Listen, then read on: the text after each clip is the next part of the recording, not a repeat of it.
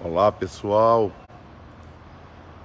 olá galerinha do meu canal, bom dia, quarta-feira, dando graças a Deus aí, mais um dia de vida, ou menos um dia de vida, tira a dúvida aí, tira a dúvida aí gente, é mais um dia de vida ou é menos um dia de vida?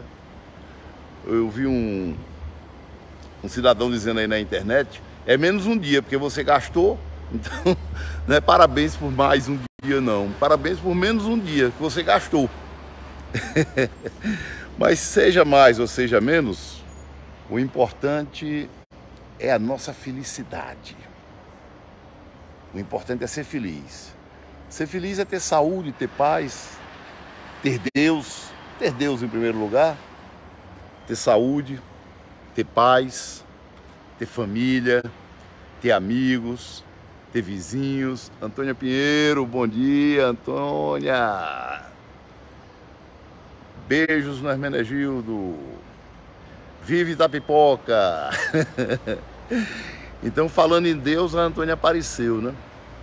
A Antônia que é uma fervorosa, uma devota católica, casada com católico, mas a religião divide as pessoas. Eu também sou católico, mas nós temos é fé em Deus. Né? Toda religião, tendo fé em Deus, é o que basta. Mas nós temos que agradecer, Antônia, minha xará, a saúde, a paz, a harmonia, essa natureza linda, bela, que você ainda não veio aqui, né, Antônia? Ainda não veio aqui. Eu sei que seu condomínio é melhor do que esse nosso, mas vem aqui, Traga Sara, o Arthur, o Hermenegildo, pra gente tomar um banho de piscina, fazer um churrasquinho, aí uns 3 quilos de picanha, viu? Mas, gente, cumprimentando os amigos, é, esse vídeo aqui eu vou colocar no nosso canal do YouTube, ter é, adrenalina para não envelhecer, ficar sempre jovem, igual o Hermenegildo, a gente vê assim, dá 50 anos. Ninguém diz que ele já tem 55 Tempo nublado. Atenção, parapentistas, kitesurfistas, surfistas, praístas. Tempo nublado, nublado, nublado. E eu ainda não tomei nem café. Aí eu vim aqui fazer um, umas artes aqui fora. E me lembrei de fazer aqui esse vídeo aqui.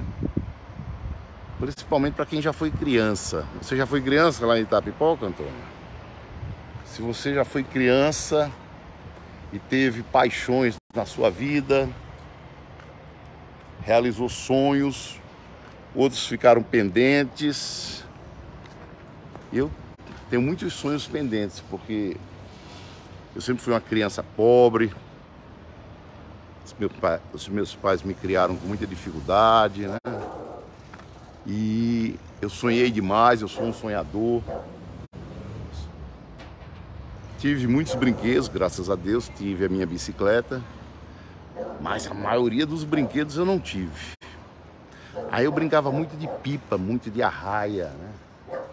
Arraia, tem que falar assim, ó, porque lá em Natal a gente chamava coruja, minha coruja. Aí tinha uns ratinhos também, os ratinhos eram os papagaios que a gente fazia com a folha de caderno. Aí tinha papagaio, coruja, no Rio de Janeiro se chama pipa. Outros estados devem chamar uma, um nome diferente. E eu era fã disso, né? Brincava o dia todo de ratinho, de papagaio, de corte. Naquela época do cerol, né? Tinha pouco movimento. Hoje em dia o cerol é até, é, acho que é até um crime, até uma contravenção você utilizar o cerol, porque muitos carros, muitas motocicletas é, as pessoas são degoladas, né, causam acidentes, número de, carro, de carros, de veículos muito grande, né? Mas na, na, na, época que eu brincava nas ruas, não tinha nem moto, não existia nem motocicleta. Na década de 70, só existiam as motocicletas aí do, do exército, aquelas que o Hermenegildo andava fazendo a segurança do presidente da república. Né? Só aquelas aquelas bichonas importadas. Aí o, o pessoal podia fazer em cerol, né? Para cortar a pipa um do outro. Então a grande verdade é que eu sempre brinquei de arraia. mas muitos sonhos não realizados. E agora, depois de velho, prestes a me aposentar, eu resolvi realizar alguns sonhos que eu possa realizar ainda. E um dos meus sonhos é voar. Aí o que foi que aconteceu? Olha que velho atrevido. Comprei um parapente. Parapente é esse bichão aqui. Esse bichão aqui, vou mostrar para vocês. Deixa eu mostrar ali para vocês. É, parapente é esse bichão aqui, ó. Comprei um parapente, que é esse bichão aqui, que tem esses tirantes aqui, que você se prende no corpo e salta de uma montanha. Né? Você pode ir lá para Itapipoca e saltar daquelas montanhas lá. Eu já saltei na Pacatuba. E também você utiliza o parapente, que é isso aqui, para. Você utiliza o parapente é, nas dunas. E aqui nós temos um local muito bom aqui em Fortaleza, muito bem explorado ali pelo Silvio Capibaribe e pela esposa Leila Capibaribe, e pela filha também, a Letícia, uma menina que só tem 15 anos, não, 11 anos, ou 13, ela começou com 11. Depois eu vou entrevistar a Leilane, pedir para entrevistar a Letícia também. E ela já dá show ali nas dunas da Sabiaguaba. Então, se você não conhece as dunas da Sabiaguaba, que fica logo ali naquela direção, do lado esquerdo aqui do Beach Park, lá tem uma turma muito boa Paulo Duarte, lá do Assaré. Viu, Hermenegildo? Tem o Paulo Duarte aqui, que é piloto, que mora bem ali na frente, do lado direito ali. Paulo Duarte, que é até pastor também, é até pastor também, né? Você, você é quase um diácono da Igreja Católica. O Paulo é, é, é, é do Assaré e ele também brinca lá nas dunas da Sabiaguaba. Então, isso aqui, gente, é o parapente. Você faz voo livre com ele. Você faz voo livre. O Luciano Barbosa está assistindo. Luciano Barbosa estava falando da minha infância, boa parte da minha infância, da minha adolescência, melhor dizendo, foi lá no São João do Tauap, na rua Cruz Abreu. Seu vizinho. Vizinho lá daquela turma boa, do Orismar, que hoje é médico lá em Biapina, já foi prefeito duas vezes, casado com a Marta, que é enfermeira, que já foi prefeita também. O Orismar, o Marcos Almeida, que é médico também, excelente médico, cirurgião, tem três filhos médicos ali na Cruz Abreu, naquela galera ali do São João do Tauap, né? Então, isso aqui é o parapente. Você voa, você faz voo livre. O voo que você faz no parapente é com auxílio do vento. Agora, o que é que acontece? O, o homem, ele tem se desenvolvido, né? As pesquisas, a ciência. Por quê? O, o material que, que foi descoberto nas últimas décadas, por exemplo, essas linhas aqui, elas são linhas de. Eu não vou aqui, vou ter cuidado para não falar besteira, né? Mas esse material de carbono, de polietileno, né? Um material extremamente seguro essas linhas, porque são nessas linhas que a gente se amarra, né? A nossa segurança fica nelas, né? Então, esse aqui é o parapente. Agora, o homem foi mais além. Ele pegou e inventou um motor que ele coloca nas costas, e um dia eu vou ter um também, e ele transforma o parapente num paramotor. Aí quando ele transforma o parapente no paramotor, aí ele não precisa nem da, nem da serra e nem das dunas para voar. Ele só precisa da praia. Só precisa do mar, só precisa de área livre. Ali está o Beach Park. Então, o Paulo Duarte, que é lá do Assaré, tem um paramotor. O Silvio Capibaribe é um dos melhores pilotos de paramotor do Brasil. O Andrade também, que voa ali no Beach Park, é excelente piloto que faz voos turísticos. Basta colocar aí é, hashtag Bora Voar. Então, a, a, os meus colegas do hobby que me corrijam. Mas está aí o parapente, que você voa que você faz o voo livre com Demétrio lá na Pacatuba, grande piloto, Demétrio Bandeira, uma pessoa sensacional, um homem de caráter, um homem de moral, um homem respeitador, um amigo do coração, gente nossa, gente nossa, o Demétrio Bandeira. Então ele voa o parapente lá na serra. E quando você bota o motor nas suas costas, aquele motorzão redondo, ele se transforma em um paramotor. Então, essa é uma das minhas paixões e aqui é um dos meus sonhos realizados. O, o, o parapente.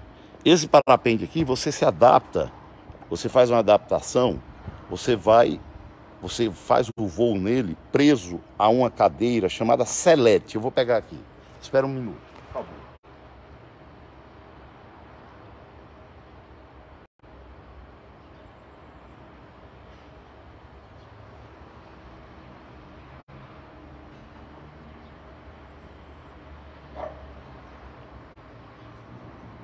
Isso aqui, gente, é, é a selete. Você se prende nela aqui, prende os braços e os pés. Você prende os. É, é, é, é bom que você não tenha muita barriga, não sabe, para voar nisso. você.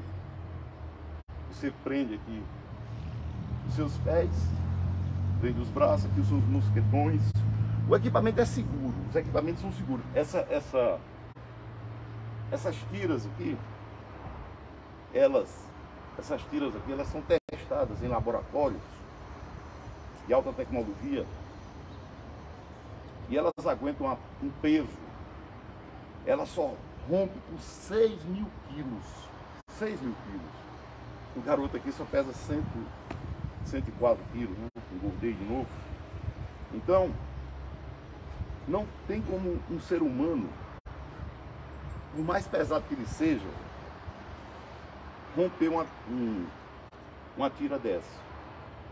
Agora, os acidentes acontecem. Por que acontecem? Porque muitas vezes, olha a bandeira do Brasil aqui, ó.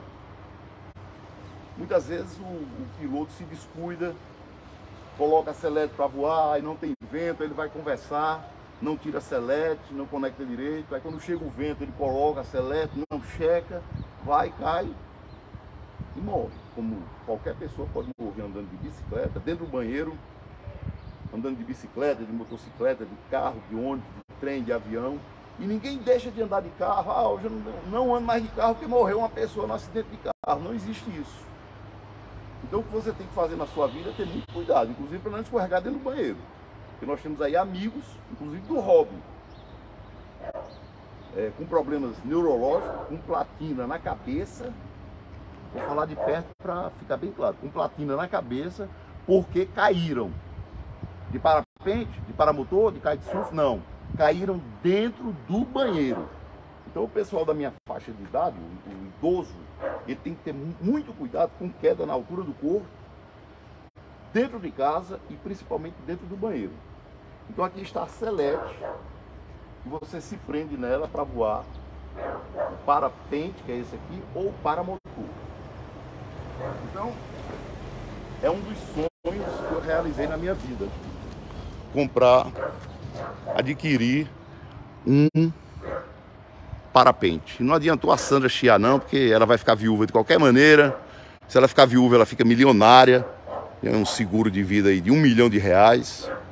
Então ela fica muito bem e eu deixo de dar despesa em casa. Mas, gente, curtindo a vida, porque a vida é para ser curtida com amor, com amizade, com felicidade. Semana que passou, eu realizei mais um sonho em minha vida. Comprei também, eu que nunca surfei, nunca fui surfista, porque sempre amei o mar, sempre amei o mar. Mas os meus pais, a gente morava longe da praia, a gente morava lá em Natal. Hoje em dia a praia lá é bem pertinho ali, perto do Castelão. Mas antigamente não existia nem passagem ali para Ponta Negra, né? A não ser viajando. Então a gente ia pouco à praia, né? E eu tinha uma. Eu, eu lembro que eu tive uma pranchinha de isopor. Então eu nunca fiz surf. Nunca fui esse, esses garotões por aí. Muitos filhinhos de papai, eu não tenho nada contra. então eu nunca surfei. Mas aí a tecnologia avançou e os homens inventaram essa coisa fantástica aqui também, que se chama parapente. E o que é o parapente? Depois nós vamos pesquisar sobre a história do parapente, eu não sei se veio da França. Vou entrevistar aqui uma galera legal, Gilberto, Gilberto Gouveia, que é um, um ícone Pessoal da galera do L, que eu mando aqui um abraço para o Márcio, para o Vaguinho, para o Gessiano, para todo aquele pessoal lá, o Capitão, tio Célio, Celino, pessoal lá do, da Leste Oeste, da Vila do Mar. Lá só tem cobra aqui no parapente. No parapente, ó, no kitesurf, porque não vale confundir. Parapente é esse. aqui é o kitesurf. E o que é o kitesurf? É, você tem esse equipamento aqui, que ele infla também. Ele é inflado com a bomba. Eu vou pegar ali a bomba. E tem acessórios também.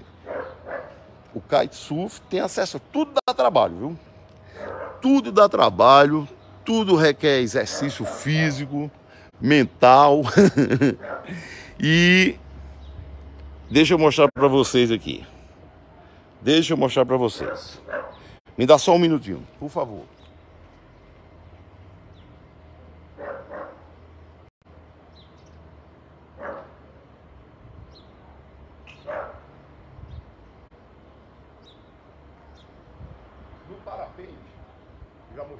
Vocês ali o parapente, você vai no Acelete. Aqui no kitesurf, você usa aqui esse equipamento aqui que se chama trapézio. Você se prende aqui no trapézio. Tem que se acochar também. Tem que colocar aqui tudo direitinho. O ideal é que o cara não seja tão, não seja tão barrigudo. Você faz aqui as conexões. Tá nem fechando aqui agora. E você utiliza também, deixa eu pegar aqui.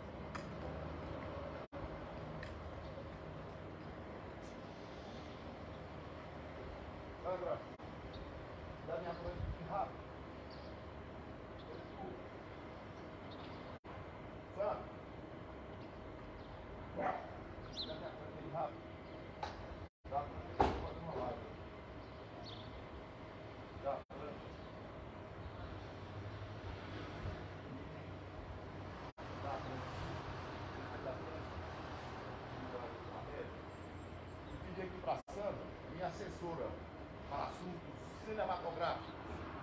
Então, no kitesurf, você utiliza uma prancha. Uma prancha de surf. Eu que nunca surfei, agora eu tenho uma prancha de surf.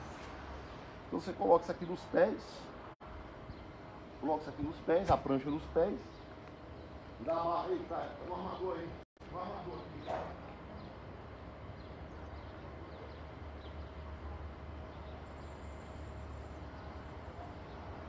Kitesurf. Sandra, bata aí uma aí, No kitesurf, você também tem os tirantes, são as linhas no kitesurf. Isso aqui tem a distância do da cabeça da gente para o kitesurf são 25 metros. E é exatamente aqui o tamanho dessas linhas. Então você se conecta aqui você se conecta aqui e. Ah, a bomba. A Sandra está trazendo a bomba.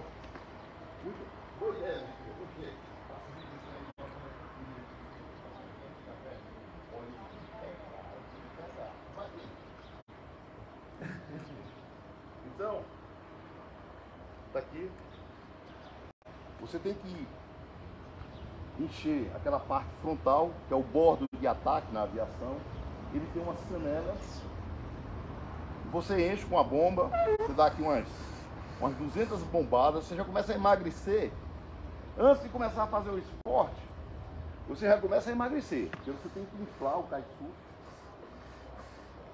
Aí, quando você infla e prende, aí você vai para a água, e tem que ter muito cuidado também, porque já aconteceu acidentes fatais aqui em Fortaleza. Teve um cidadão lá na Leste Oeste que deslizou. Dizem, né? Que me perdoe a família e os amigos, né? Mas dizem que o, vento estava muito forte. E tudo aqui depende do vento. Se não tem vento, você não brinca. Se tem vento demais, você não brinca também. dizem que os amigos avisaram, o vento está forte, não vá. O vento está forte, não vá. Mas aí a, a, vontade do cidadão brincar era tão grande, e eu não tiro a razão dele, que pode acontecer comigo, que Deus me livre, mas eu, eu primo muito pela segurança que ele foi. Embora o equipamento tenha, tenha os mecanismos de segurança para você se desvencilhar, eu ainda não, não sei os nomes técnicos, mas esse aqui é um deles. Que na hora do sufoco você pode acionar aqui e solta o kite e ele cai na água. E se ele continuar te arrastando, você vai para esse outro aqui, que é. Agora eu esqueci do nome, é porque é muita coisa. A Sandra disse que eu estou ficando caduco, mas é, é o list, é o list. Tá vendo aí como eu não estou ficando caduco? É o list, é porque é muita coisa. Aí, você acionando o list, você se livra do kitesurf. Você perde o kitesurf nas pedras, nas margens de um rio, mas você não perde a vida. Então, basicamente é isso aqui. É, é um esporte, é um lazer, é uma paixão. Nós temos aqui o Cumbu, onde eu comecei as minhas aulas de kitesurf, lá na barraca do B. E mando aqui um abraço para toda a galera de lá, para o Natan, meu primeiro instrutor, para o Loiro, para aquele pessoal fantástico lá da Barra do Cauípe, para o B, que me alugou kitesurf, que vende equipamentos. Eu vou aí comprar um equipamento. Mais equipamentos, mais acessórios, porque tem que ter as roupas, tem que ter protetor solar. Eu sou um fã do sol, eu não tenho medo do sol. O sol para mim é energia. Mas para passar o dia na praia, como eu vou passar a partir de agora, porque agora os ventos estão voltando. Passou o meu aniversário e os ventos estão voltando. Então até o final do ano, suspende drone. Parapente eu vou dar um tempo, porque tem que ser uma coisa de cada vez. É muita logística. E hashtag agora é kite. Então tem que passar protetor, senão você se queima mesmo. Tem, tem um colete também, porque se você cair lá dentro, você tá com colete. Tá ali aquele meu colete, que inclusive não é nem o colete do kite, é o colete da pesca. Os colegas até fazendo hora, né? Porque eu fui os meus filhos reclamando que eu fui com um colete da pesca. Pai, a galera tá mangando de ti. Eu tenho nada a ver que ninguém mangue de mim, meu amigo. Mangue. Enquanto vocês estão mangando de mim, eu tô vivo aqui. Quando vocês parar, pararem de, de mangar de mim, é porque eu morri não tô mais fazendo nada. Então eu fui fazer. Olha o meu crime. eu fui fazer kitesurf com colete da pesca. então vou comprar um colete próprio do kite que a Sandra quer que eu saia por aí bonitão, gostosão. Afinal de contas, ela diz: Meu filho, você não fala que é o kite do idoso, cada vez mais gostoso? Então se arruma, vai direitinho e tal. Então estão aí minhas duas paixões. Quero agradecer sua audiência. Pode compartilhar, comentar, criticar. Só não, só não chame nome feio, nem fale da minha mãe. Então estão aí as minhas duas paixões atuais, materiais. já passei por motocicleta, já passei por drone, por, por aeromodelo, avião, helicóptero. Depois eu tenho uma história para contar muito legal dos drones aqui. Aqui no condomínio, no marino. Então estão aqui as minhas as minhas paixões atuais. Kitesurf, que se faz no mar, exclusivamente no mar, e o parapente que se faz na serra e também nas dunas do mar. Esportes que você tem que agir com muita segurança, explorando esse marzão lindo, essa